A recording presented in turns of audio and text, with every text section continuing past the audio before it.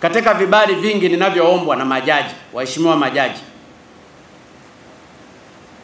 ambavyo vyote huwa navitoa, ambavyo vimenisaidia na mimi kufanya utafiti wangu kupitia hivyo vibali.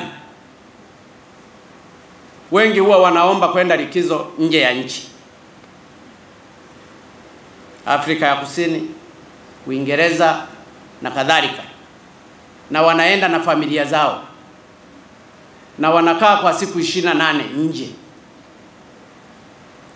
na gharama pale chini wanasema watajigaramia.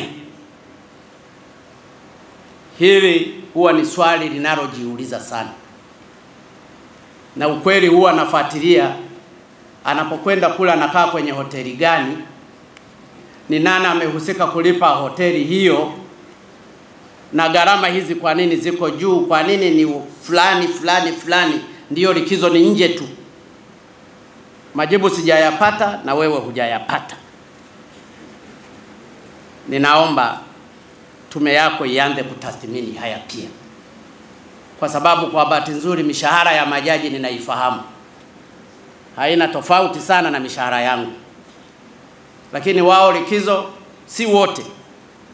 Ni Ulaya anajilipia na atakaa siku 28 mpaka 30 za likizo yake.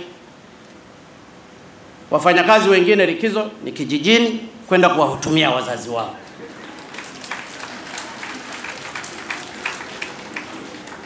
Hizi ni changamoto zinazowafanya watu waseme. Hawawezi wakasema hadharani, lakini mimi nina uwezo wa kusema hadharani kwa sababu nilipewa jukumu hilo na Watanzania. Ninajua message sent and delivered.